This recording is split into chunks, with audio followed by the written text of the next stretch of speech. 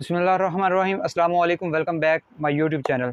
अच्छा बहुत सारे लोग पूछ रहे थे ये तुर्की का सोप, इसका वेट कितना है, प्राइस कितनी है और इसकी खुशबू कैसी है। आज मैं आपको बताना चाह रहा हूँ कि ये जो है, तुर्की सोप है और इसका जो वज़न है 125 ग्राम है। लेकिन हम 120 से 130 ग्राम बताते हैं। वो इसलिए बताते हैं, बाज़ अवत डाई में हल्का फुल्का साबुन लगा रहता है, ठीक है? डाई में चिपका रहता है।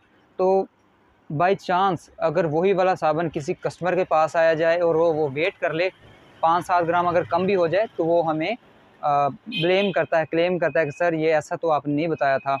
इसलिए हम बताते हैं कि भाई 25 से 30 ग्राम वज़न होगा 125 से 30 ग्राम वज़न होगा और इससे ऊपर नीचे भी हो सकता है। वैसे इसका टोटल जो वज़न है 125 ग्राम है और एक हम 25 से 30 ग्राम वज़न बताते हैं, ठीक है? अगर हम इसकी कीमत की बात करें, बहुत मुनासिब है, ठीक है? और इसकी खुशबू बहुत कमाल की है। जब आप इसको एक बार यूज़ करेंगे, ठीक है, हाथ मुँह धोएँगे और ये आपकी खुशबू जो है ना, वो आपका पीछा नहीं छोड़ती। मैं ख़ुद यही खुद यूज़ कर रहा हूँ और बहुत सारे जो मेरे कस्टमर हैं, माशाल्लाह बहुत सारे यूज़ कर रहे हैं और ये देखिए, एक चौतालीस पीस जा रहे हैं। मेरे पास इतना टाइम नहीं होता कि मैं बार बार वीडियो बना सकूँ। इसलिए जो है ना, पंद्रह दिन बाद या दस दिन बाद ये वाली शक्ल आपके सामने लेके आ जाता हूँ, ठीक है?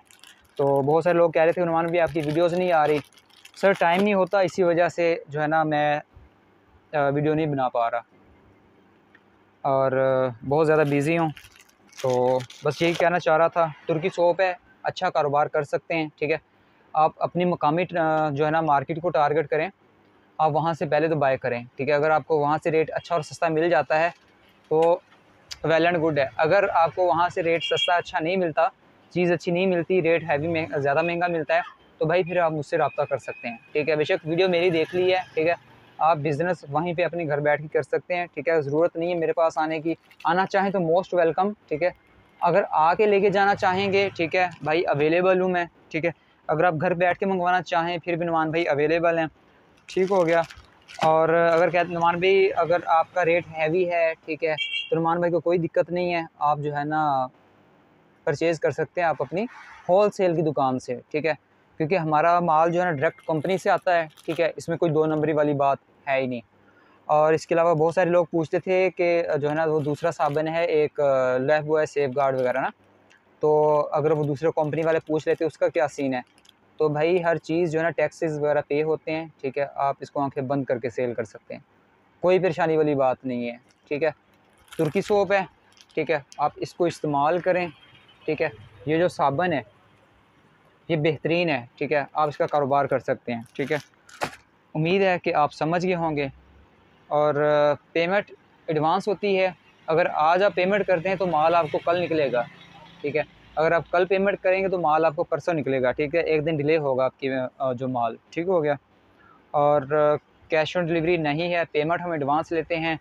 आना चाहें तो मोस्ट वेलकम अगर घर मंगवाना, बैठ के मंगवाना चाहें, तभी मोस्ट वेलकम ठीक है? पेमेंट सिक्योर है। ठीक है? बहुत सारे कहते हैं, यार, आप भाग जाओगे। ठीक है? बहुत सारे पहले हमारे साथ फ्रॉड हो चुका है। देखें पाँच उंगलियाँ बराबर नहीं होती।